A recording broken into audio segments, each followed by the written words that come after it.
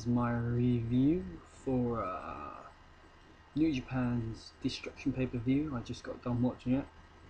Um, hmm, I think it still needs.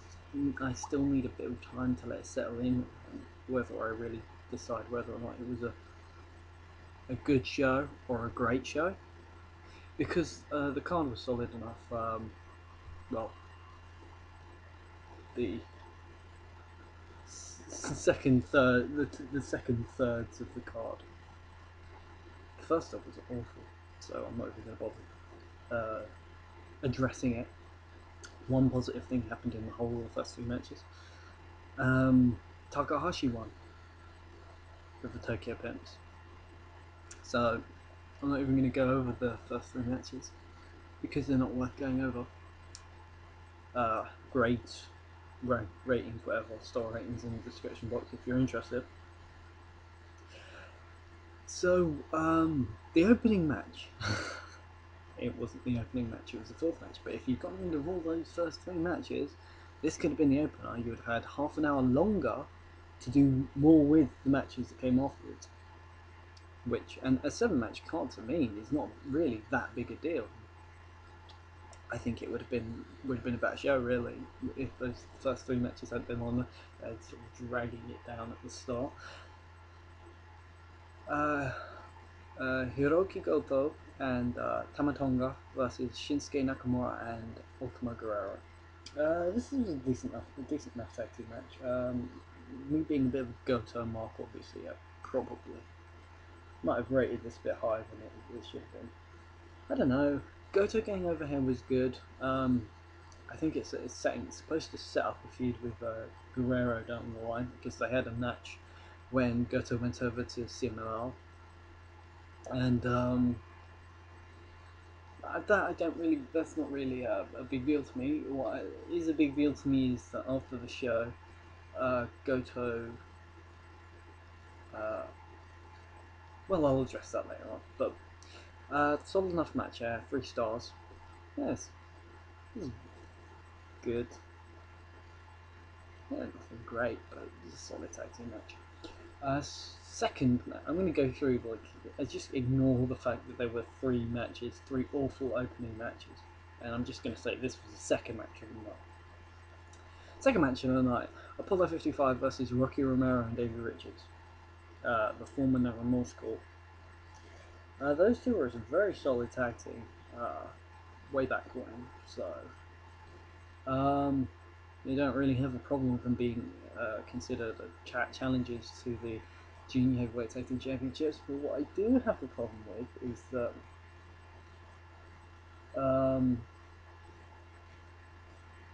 Davey's not over.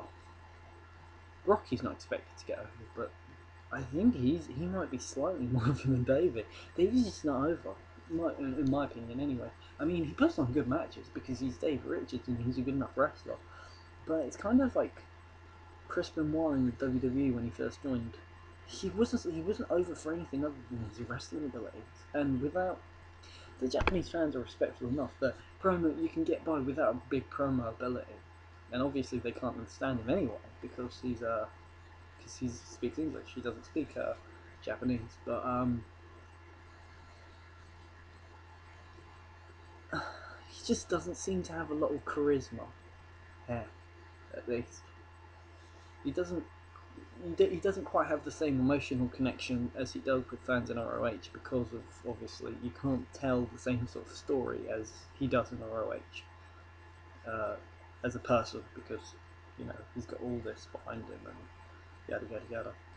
Um, positive coming out of this match was who won, because um, I'm just going to spoil it because I'm going to go through.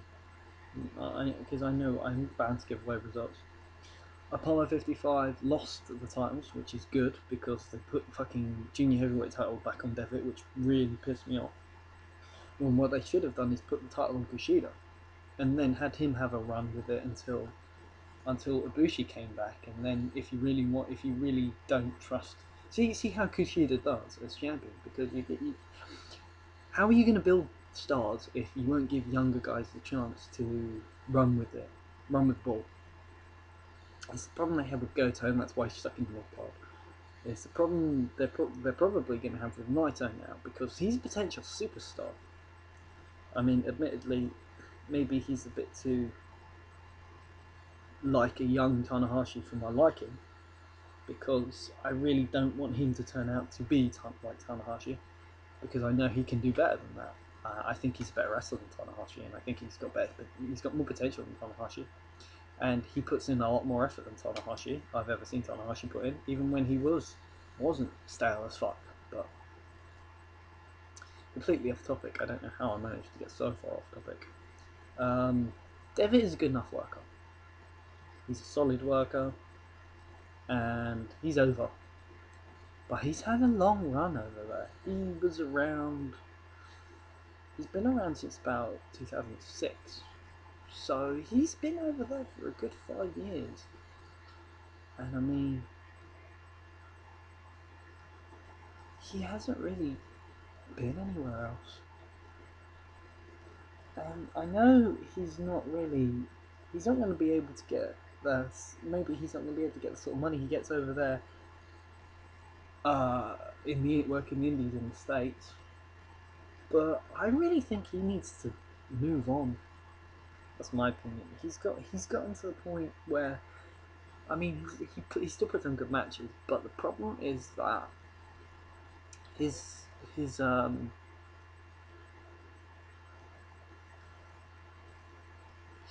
basically he's Tanahashi of the junior heavyweights. They're just going to push him over everybody. So as long as he's there, um, a lot of other junior heavyweights don't don't really stand a chance. So I just think they should move Devitt along.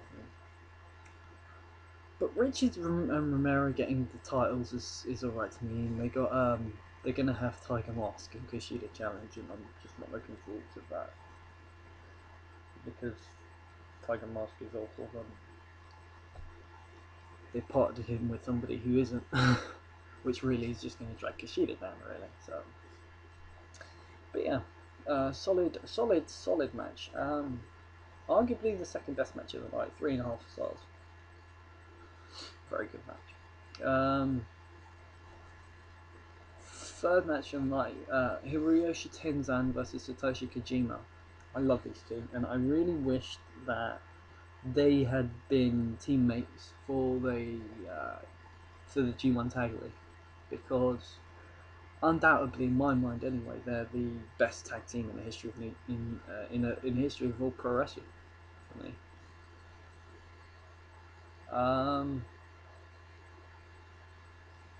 Kojima is probably my favourite Japanese heavyweight. Tenzan's not that far behind. Um, they put on a good match.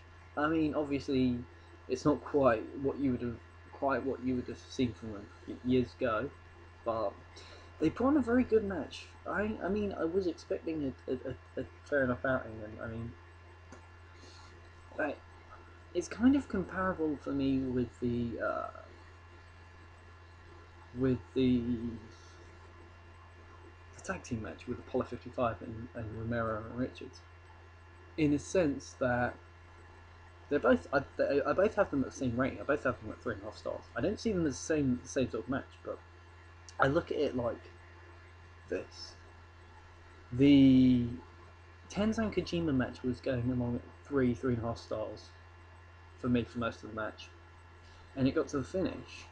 Uh, well, it was about three and a half stars, and it got to the finish, and I was temp- I was on the verge. I mean, if it had gone a little bit longer, I think I was on the verge of slowly of, of maybe giving it a low four stars, a very low four stars, but four stars nonetheless. And I think the finish took that away. Whereas with Apollo 55 versus Romero and Richards, it was three stars, and the finish gave it an extra half a star. This is it's a it's a um, a case of one match is uh, one match the finish takes away from the match, and one match the, the finish gives more to the match. But yeah, another a, a fair enough um, match for these two. Hopefully, the next match is better. The the next because they're facing off, they're, they're having another another match, power struggle. which I will address. I'm actually going to address something uh, power struggle related at the end of this video. So look out for that. Um, Nagata versus Yano. Yeah. Um, I look at this match as somewhat of a problem because of what happened at the end of the show. And going into this show, my belief was that Yano need to, needed to go over because Nagata doesn't gain anything from losing this match. Nagata doesn't gain anything from winning this match. I mean, uh, Yano loses a lot for losing this match. I mean, he's got a bit of steam behind him. He's got a bit of momentum. He's looking good. He's had a few good matches. He goes over Nagata. He's a legitimate challenger to the heavyweight title. He loses. He's just Toru Yano being Toru Yano. So Nagata getting the win kind of pissed me off a bit. I mean, I half expected it, but yeah, what can you do? Uh, this match wasn't bad. It wasn't great. It wasn't bad. It was three stars. It was decent, decent outing for these two. A lot of good, good, good, good, solid matches, but nothing sort of quite pushing the boundaries, if you will. A lot of three, three and a three and a half star matches on this card, excluding the, the, the, the three, the three non matches as well, as I will. Uh, MVP versus uh, Masato Tanaka for the uh, IWGP Intercontinental Championship, and this for me is the is the second best match in right. Um, MVP, he is probably probably possibly the best I've seen actually, and I think he worked well with Tanaka. Um, Tanaka's more used to an American sort of style because obviously he worked in ECW for a while. And I'm sure the communication was better because I think Tanaka's probably more well versed in English than uh, than a lot of the uh, Japanese guys, so there was probably better communication between the two. But they these two put on a heck of an effort, and um, again, this again the finish actually helped this match for me. I mean, it was it was three and a half stars. The finish almost pushed it up to four, but not quite. Um, but very, very good match. Very good match between these two. Definitely one worth checking out. Uh, God. Semi main event uh, Makabe versus Suzuki. Togi Makabe versus Minoru Suzuki. I will I will be the first to admit I'm not Suzuki's biggest fan. I'm not his biggest hater. Probably say Josh probably hates him a little bit more than I do but I'm not Suzuki's biggest fan. In my opinion, so far his best match this year was against Strongman. I can't believe I just said that. Oh dear. Whew. Um. Eh. It was a brawl. It was expected to be a brawl. I it was a little bit too one-sided for me towards the end. I mean, I can understand that, like the the Japanese style has always been, they have uh, near fall after near fall after near fall on one side, then the other side gets a fall or a submission or something, and then there's another two big moves after that, and that tends to be the way it goes. With this, um, I actually I do like the, the, the very last moment where he's got him in the sleep. He had um, uh, Suzuki has Makabe in the sleeper, and um, he looks like he's fading, and then suddenly he switches and hits him with the Gotch style pile driver, and that, I think that was good. That was very good. I like that. Um, uh, it's sort of the exclamation point to sort of like, oh, he's weak and take advantage, hit him with my, hit him with my finisher, and that probably gave this an extra half star. See, a lot of a lot of a lot of uh, things with me play with finishes. I don't. If a finish is bad, I will take away. If a finish isn't good, then I'm not going to take away. But if something's on the on the edge, if it's if it's if it's three and a half, four stars, and the finish is just okay, or just kind of iffy, then it'll be three and a half. If it's bad, then it might even go down to three. Depending on how good the match was, obviously. But if a finish is, if it's on at three and a half, four, and finish is really good, then it'll go to four. That's just the way I grade matches. And actually, that's another thing I want to get into. I want to get into the way I grade matches. I won't do it in this video, but that'll that'll come that'll come soon in the future. Um, a lot of a lot of videos planned for the future, but uh, finish this review first. Main event: uh, IWGP Heavyweight Championship Hiroshi Tanahashi versus Tetsuya Naito. Like I said, these two are very similar. They're very alike. Tanahashi and Naito wrestle a very very similar style. Naito is like Tanahashi version 2.0 to an extent. At least he looked like that in this match, and I don't like that at all because I don't like Tanahashi, and I don't like what Tanahashi has become. Um,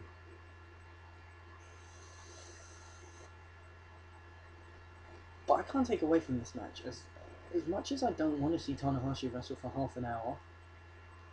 Who does? What sane human being wants to see Hiroshi Tanahashi wrestle for half an hour? Tetsuya Naito is somebody I would enjoy seeing for half an hour because he's not gotten stale yet. And behind Goto, Naito should be the new generation of top, top uh, New Japan heavyweights. Should be. I think right now it should be Goto number one, Naito number two, just below him. Um, but this was a very, very, very good match, and I believe it was match of the. For me, it was four stars. Four stars, definitely, a definite four stars. Um, if fucking Tanahashi was a bit more original with his finishes, and rather than just hitting the high fly flow every single match, every single time you see him hit the high fly flow, you just know the match is over because that's the way he does his business, which is fucking lame as shit. I mean, if he if he mixed up and maybe used the dragon to, to get a pin here and there, then maybe I'd be a bit more interested in his matches because I'm not necessarily expecting the match to end after a frog splash. Which is something that I don't like any. I don't like knowing that the match is over after a move. I hate that. I can understand there being certain moves that you use to finish a match and certain moves you don't. But having the same finish to every single match you win is horrible. Horrible. It's horrible. It's a horrible way of doing business. It's just so bad, so bad, too bad. Crap, crap, crap, crap, crap. Do not do that. But Tanahashi retained, high fly flow obviously. And I'm just hoping Naito doesn't get stuck in the mid-card mire that they've put uh, Goto in. Post match, Tanahashi did his little interview, got his flowers. Yay! Tanahashi! Um, Nagata came out and basically challenged him. Tanahashi said, yeah, sure, shook hands. In came Yano with a chair hit hit Nagata hit, and hit Tanahashi, hit Tanahashi, then hit Nagata, then took the belt, said it was his, and left. This is the same Toru Yano who just lost to Yuji Nagata. Eh? Eh? Eh? There are only a handful of guys right now, after this show, who should be potentially getting title shot. Goto because of his his win, Kojima because of his win, Nagata because of his win, and Suzuki because of his win. Winners get title shots, losers don't get title shots. I don't care with the. I see what they're doing. What they're doing. They're giving everybody their wins back. They're giving Tanahashi his wins back over everybody that beat him in uh, in the G1. Nagata beat him. Naito beat him. Yano beat him. He got his win back over Naito. He's going to get his win back over uh, over uh, Yano. And then he's going to get his win back over Nagata. And then he's going to fucking retain the title at Wrestle Kingdom. and we're all going to be sick. I- I'm going to want to kill somebody, probably myself. I'm going to do a booking video for Power Struggle. I'm also going to do a booking video for uh, Ring of Honor Final Battle.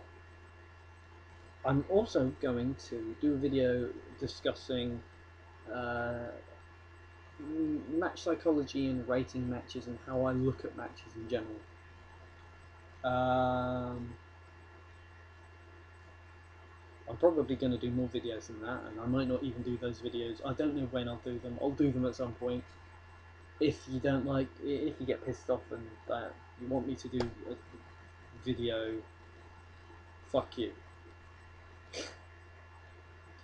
But this all round, uh, this was a pretty good show. Uh, out of ten, yeah, seven five. It was a solid show. Solid show. Solid is probably the word I'd use. I wouldn't use good or great. It's in the middle. I think solid is in the middle of good and great. That's my opinion. Well, eh, it's not in the middle of good and great in the sense that it's sort of pretty good or very good. It's more good could be based on entertainment and it might not necessarily be a good wrestling show. Solid means the wrestling, in my opinion, it means wrestling. So I'm getting into my opinions too much. Means that the wrestling on the show is good, and it might still be entertaining. Now, this show wasn't overly entertaining. I mean, whilst I did enjoy the Yano, the Yano bit, and because that set up Tanahashi versus Yano, which I'd be happy to see. Um, even though it doesn't make sense. Uh, the show wasn't overly entertaining as a, as a as a show. It was a wrestling that's what Japanese shows are. You've got you've got sort of, uh, and again the way the way you look at things, you've got to have an element of entertainment. in it. And just small smidgen, especially for Japanese shows. But there just wasn't quite enough for me on an entertainment standpoint. But it was a solid enough show with solid wrestling matches. Uh, like I mean, I think every match that I spoke about had was at least three three stars, three to uh, three to four stars. And I think that's a, that's solid. So, um, yeah, that was my review for New Japan's uh, Destruction. Look out for those two booking videos and that rambling, what, what will turn out to be a rambling video, and any other videos we're doing in future because uh, I want to do more videos. I don't think I do enough videos. I don't want to stockpile and just do loads and loads of videos, but I want to do more videos, and I will try and do more videos for the few, for like the ten of you who watch. But um, yeah, New Japan Destruction review. And I'm out. Peace.